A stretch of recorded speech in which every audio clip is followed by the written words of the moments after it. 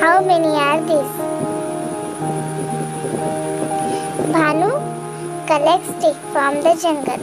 He sells them in the market. He used 10 sticks to make a one bundle. Three bundles have 30 sticks. Now, how many sticks in all are these?